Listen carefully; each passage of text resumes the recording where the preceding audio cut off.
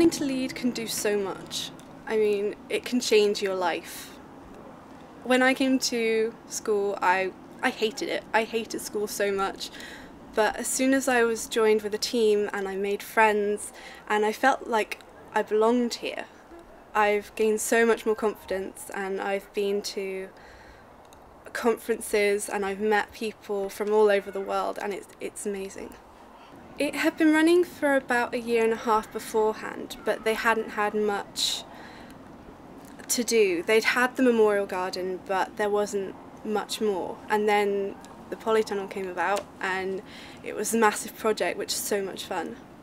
We managed to do it in one day. Uh, we had all the site staff and extra teachers and some of the uh, old sixth formers uh, who came in just for that day and we did we dug trenches around the outside and we helped put up the metal structure and then we all had to go back to lessons and the rest of the teachers uh, were pulling all this plastic all over it and um, we came back the next day to find it complete and we were just aching to get started.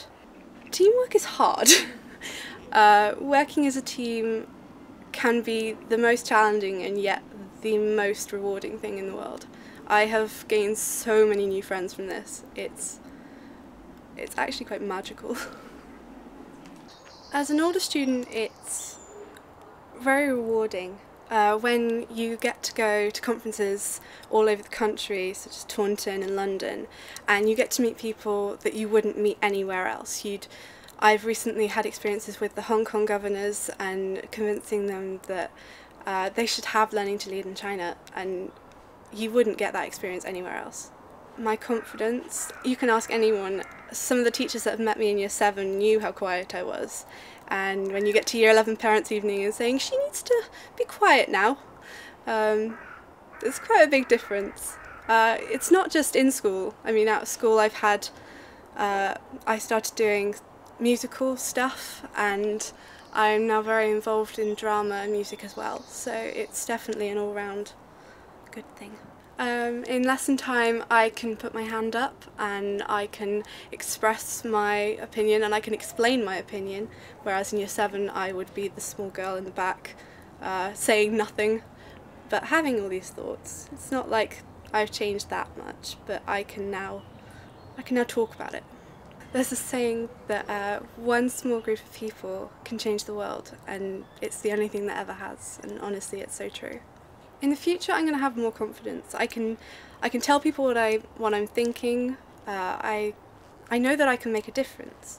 If you left school with no idea of how to communicate with other people, if you left school not knowing how to work as a team, and you'd never been out in the world and talked about how you feel about stuff, it would be very different and I think it would be a lot harder.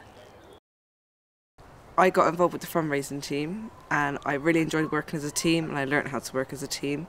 And then from then on, I've been to conferences with Miss Shuttleworth and a couple of other students involved and I had really great fun and I took it a bit further and started the chicken team.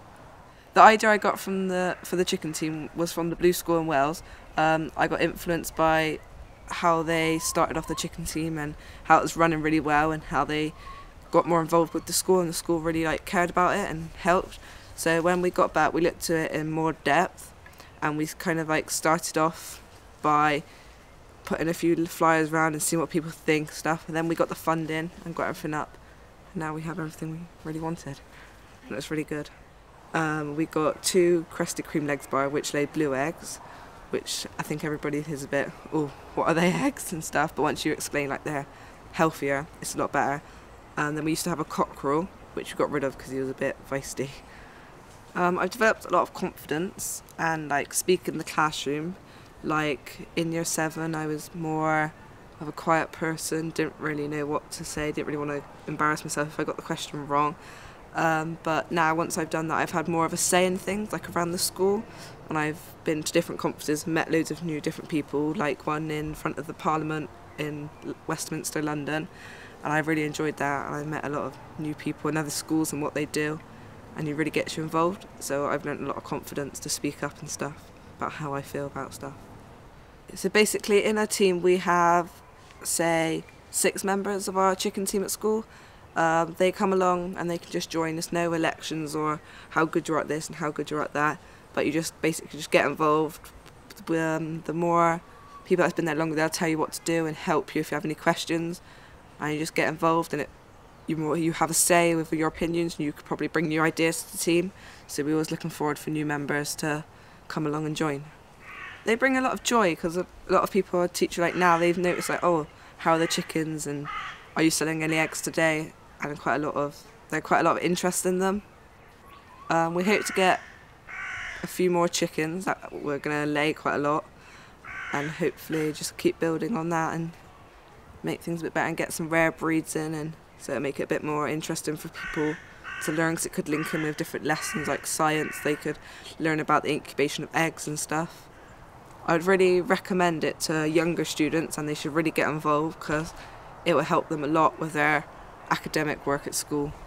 It will really like boost their confidence and give them a bit more opportunity to speak up when you get those um, dilemmas in class.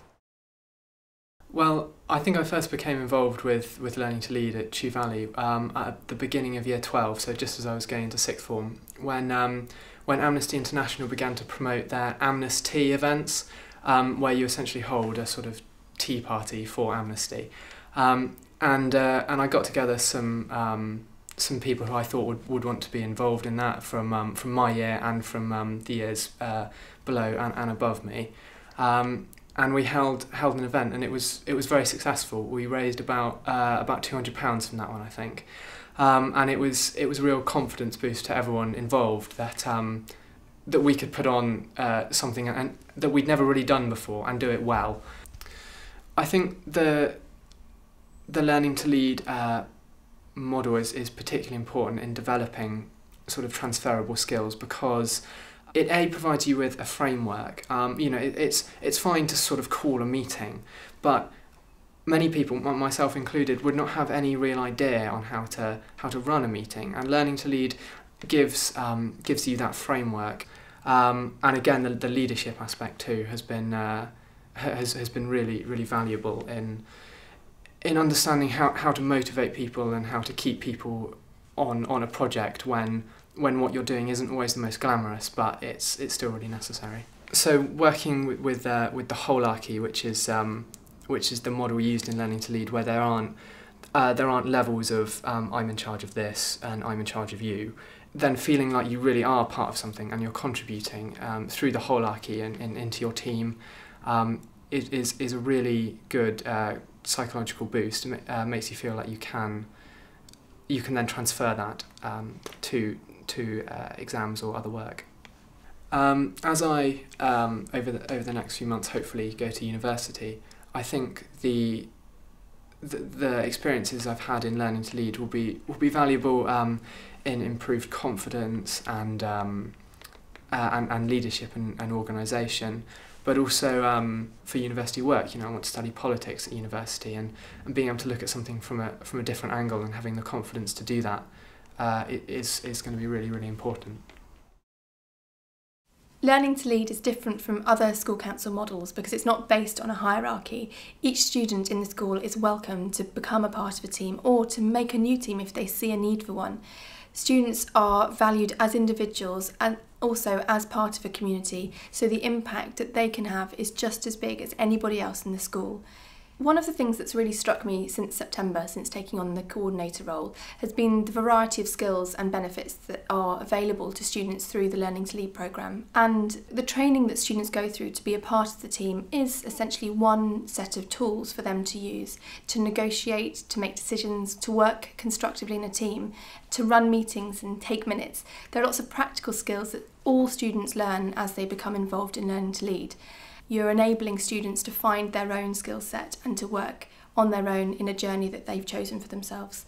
And for the least and most academic of our students, Learning to Lead can provide a way of them really developing their own personal skills, their confidence, their interests, and the impact that they want to have on the community that they're in. in terms of the school, the benefits are enormous. The, the involvement that students have with the day-to-day -day running of the school is much greater through the Learning to Lead programme. The environment that we work in is, ben is benefited from the Learning to Lead programme.